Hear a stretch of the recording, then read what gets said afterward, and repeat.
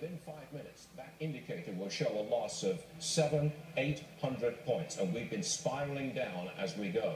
Who's to blame for this? Well, we blame the Federal Reserve, a long policy of free and very cheap money. We can blame China, losing control of their market and, and, their economy, and the absence of a plan.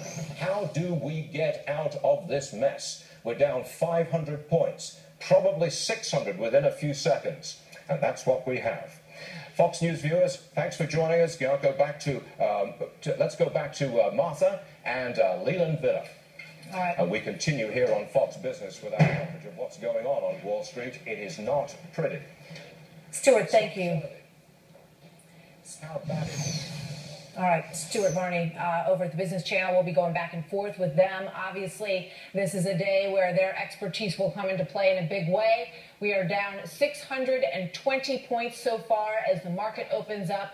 It has been a horrific uh, past few days. When you look at what happened on Friday, down a thousand points last week for the week, and we're now in a situation where the United States and China are both uh, underwater for 2015 after some pretty substantial gains early in the year. Let's bring in Gerri Willis uh, and talk to her a little bit at the Fox Business Network as we take a look at this, Gerri.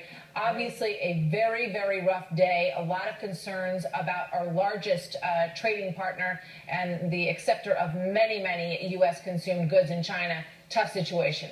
It is a tough situation. Let's remember the nexus of the trouble that is pushing the Dow down 954 points, very close to the open here. It's China and China's economic problems. Why does it matter so much? Because China, they provide about half of the global economic growth. That's what they've been doing for years now. Now that is in question, and now we're seeing the reaction in markets. I think at some point, investors here in this country will look up and realize this is not the United States of America that's driving this down. This is trouble in China. And as you know, the Shenzhen uh, uh, down uh, 8.5% overnight. That's one of the things driving the markets lower here.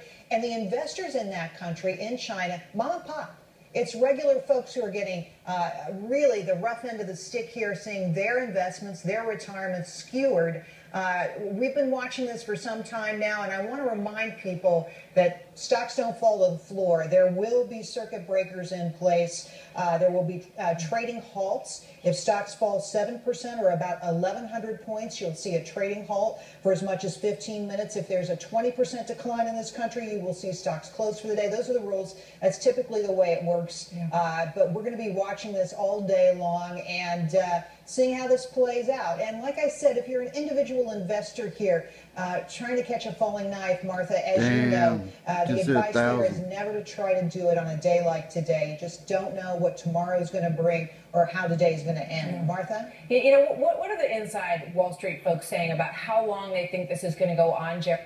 All right, I'm not going to keep going on and on, but as you can see, Dow Jones as of uh, August 24, 2015, opening round, the first uh, we're at 3 minutes and 25 seconds of this video and I started it probably 10 seconds after it started. So in the first uh, under 4 minutes it was under a thousand points.